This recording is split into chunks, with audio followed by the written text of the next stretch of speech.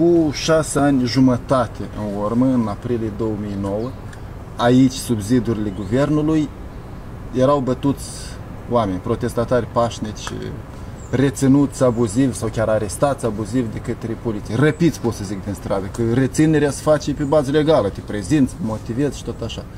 Dar tinerii cei erau răpiți din stradă și erau bătuți aici în spatele guvernului. Cineva de la Casa Presiei a văzut asta. Eu eram reporter la jurnal TV și m-au sunat, eu eram în fața guvernului. Urmăream protestele, filmam, relatam. Era ora 10 seara pe 8 aprilie.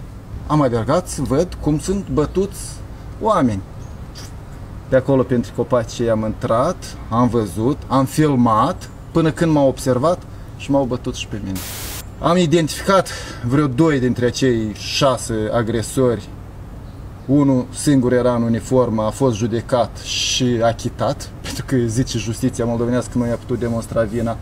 Altul identificat e blondul cu plete lungi, Vitalie Burlacu, care după aceea a fost arestat pentru încercare de mituire de deputați, cu câte un milion și ceva de dolari. A fost condamnat în lipsă și iată acum iar e fugar. Iar dosarul penal în care eu sunt victimă și el era cumva bănuit o vreme, stă. Stă la Procuratura Municipală. Ivan Deacov acum o face pe opozantul și pe corectul, dar sub oblăduirea lui, timp de șase ani până acum, nu s-a făcut justiție și n-a fost tras la răspundere Vitalie Burlacu, de exemplu, sau n-au fost identificați ceilalți patru. Că Burlacu a stat cumva, a condus operațiunea de agresare a unui jurnalist și de jefuirea lui de două camere video. Uh, deci el parcă nu m-a atins din câte am văzut eu, dar mi-am pierdut o leac cunoștință, am stat cu fața în jos, n-am văzut. Dar pe alții am văzut cum m-au agresat. Pe cei nici n-au încercat să identifice.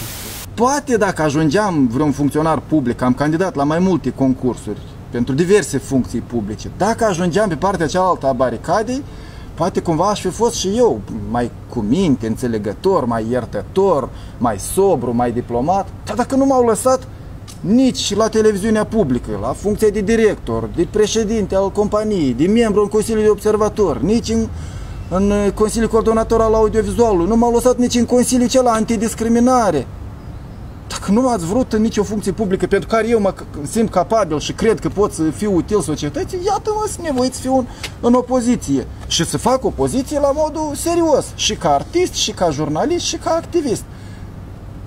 Și ca politician o, o fac, da? Nu știu ce fel de politician eu, dacă nici măcar nu-s lăsat să candidez, iată, la prezidențiale acum vreau să candidez, dar îi spun că trebuie să am un grup de 25 de oameni pe care neapărat trebuie să-i plătesc, da? Cu ce să-i plătesc? Eu șomer, eu n-am cu ce plăti întreținerea mea, trebuie să merg pe bicicletă și să mănânc pe smeți de asta toamnă.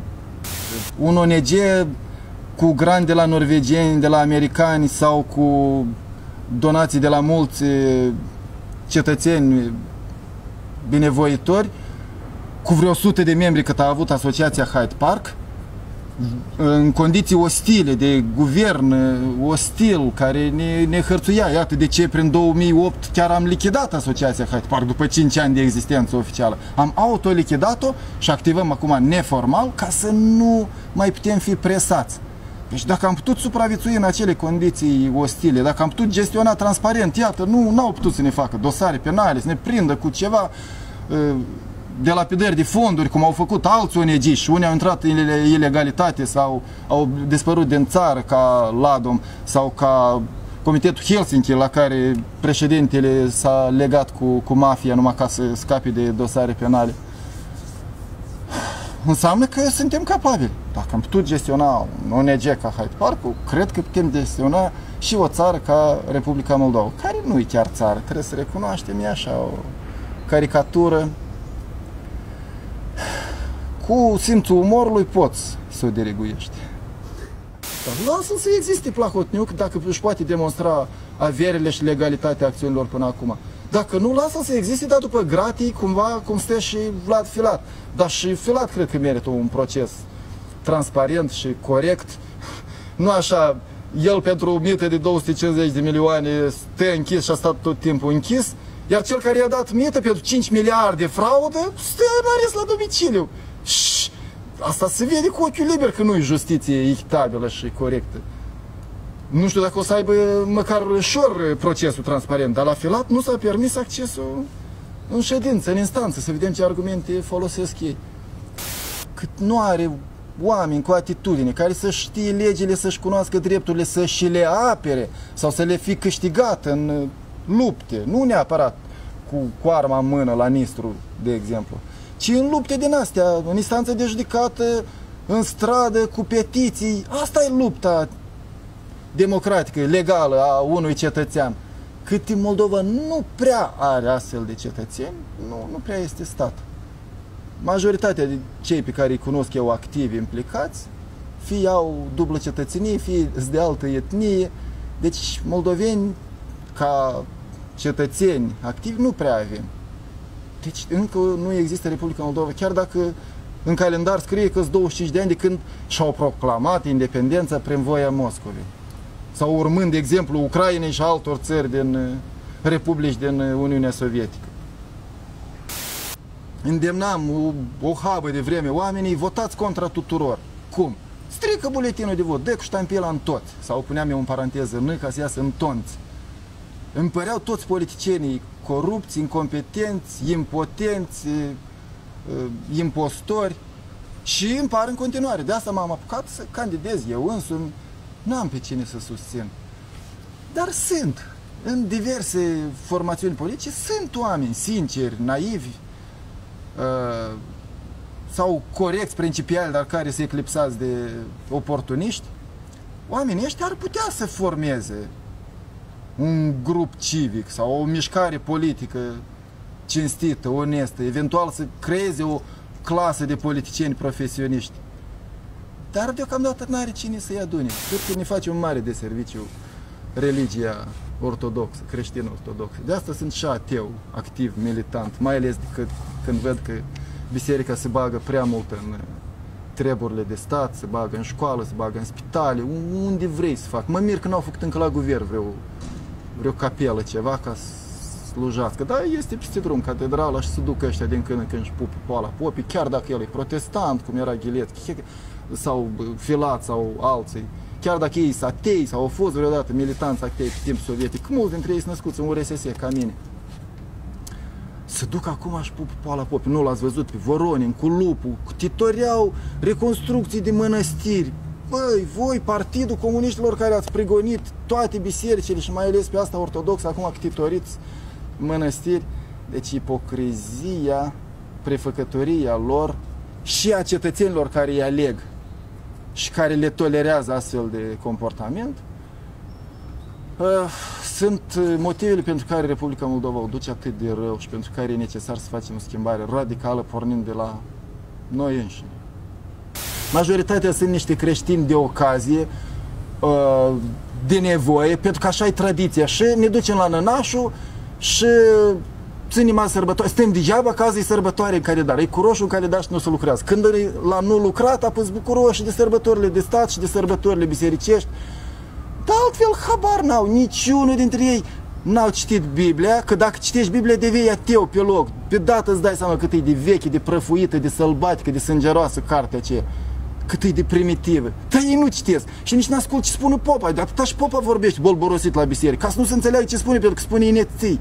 Și ca să pară misterios, se îmbracă în rochia aceea, dă cu tămâi să iasă fum, să te, să te amețească și, și care se duc puțini la biserică, încă sunt mai e, întunecați decât acei care preferă să stea acasă, să nu-ți ducă nicăieri. Și deschid din când în când poarta popii când vine de botează sau cu alte ocazii pe acasă să le ceară bani, pentru că așa face toată lumea și cum să intre în gura lumii. Că altfel, dacă ar fi după voia lor, nici bani nu i-ar da, nici nu i-ar deschide ușa, nici n-ar mai face crucile cele deasupra ușii, deasupra uh, geamurilor, nu și-ar mai boteza copiii, dar gura lumii, ce zic gura lumii?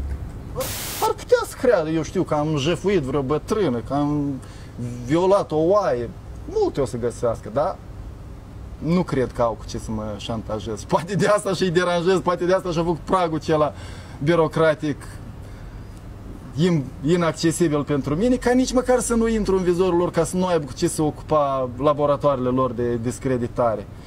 Ei preferă să aibă candidații lor controlați și o să fie candidați independenți care o să reușească să strângă și 15.000 din 20 de raioane și câte 600 din fiecare raion chiar peste noapte, cum dacă vă aduceți aminte la primăria capitalei, Mihai Godea, în două zile au reușit să strângă 10.000 de semnături. Eu într-o lună n-a reușit decât 1.000, tot independent ca el. Dar el în două zile a reușit. Interesant. Dacă e bun, atât de bun încât partidul lui nu există, dar a format și un partid. Trebuie să aibă cel puțin 4.000 de membri pentru fondarea unui partid. Gata, nu s-au, nici nu a participat la alegeri, îmi pare că. Bun. Și a ajuns consilier prezidențial. Deci e clar că e cu mafia. Dar eu nu-s de acela. Pe mine n-au cu ce să mă șantajeze. Și încearcă să mă marginalizeze. Președinte, dacă nu se răzgândește tovarășul coordonator și să zică mm, nu-s bune alegerile astea, dă ordine acolo la Curtea Constituțională, anulăm, ceva nu a fost bun și numim, nu știu, prin, prin ordine de, de la Nobel pe viață moștenitor de tron. E posibil și așa ceva și moldovenii, mulți dintre ei, o să accepte și chestia asta. Ce să aștept de la o turmă de mioane? Am fost și rămân unionist. Odată eram unionist activ înflăcărat când asta era interzis și pentru asta puteți stai închis și chiar am stat de câteva ori închis pentru activități unioniste. Acum mi s-a răcit entuziasmul și elanul unionist uh, pentru că oricine poate să facă chestia asta în primul rând pentru că guvernarea a pus mâna în creștet unioniștilor și le permite accesul la rubrica uh, site-uri pe internet, iată, au de gând să le dea și televiziuni, le permit uh, marșuri, poate că și îi finanțează în vreun fel, deci nu vreau să mă asociez cu așa guvernare. Ideea unionistă e bună dacă unirea se va face pașnic, legal, prin referendum, cu voința majorității populației sau prin decizia politică a Parlamentului, dar nu știu dacă poate fi schimbat uh, statutul țării doar prin decizii fără referendum. Um, evident, sunt împotriva unei uniri cu forța, cu armata sau în circunstanțe cum a fost în 1918, pe timp de război, cu stres, cu armata rusă la granițe și tot așa.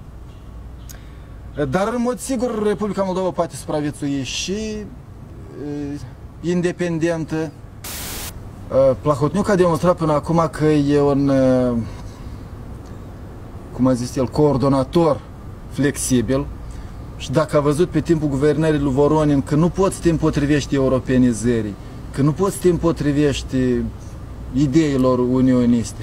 Acum a întors macazul și le exploatează ideile astea, ca tot el, vorba dictonului la vremuri noi, tot noi, ca tot el să rămână în spate cu, cu sforile îi doresc Republicii Moldova, dacă mai vrea, să rămână ca stat, să rămână pe harta asta pe care le-a croit-o Hitler cu Stalin în 40, să facă un efort să-și înțeleagă soarta, să-și ia soarta în mâini și să nască cetățeni. Cât timp nu are Republica Moldova cetățeni, ea rămâne un proiect politic de conjunctură sub semnul provizoratului și care, într-o bună zi, se poate trezi din nou gubernie a Rusiei sau trei județe în uh, România mare. Dacă vrea să existe ca stat independent și următorul sfert de secol, sau mă, măcar următorii câțiva ani, va trebui să se ia în mâini, să-și ia soarta în mâini, populația de aici, să se simtă ca cetățeni, să-i citească măcar o dată Constituția sau măcar declarația de independență și să înceapă a acționa ca și cum ar fi cetățeni locuitori într-un stat de drept democratic european. Altfel, rămânem o amintire tristă.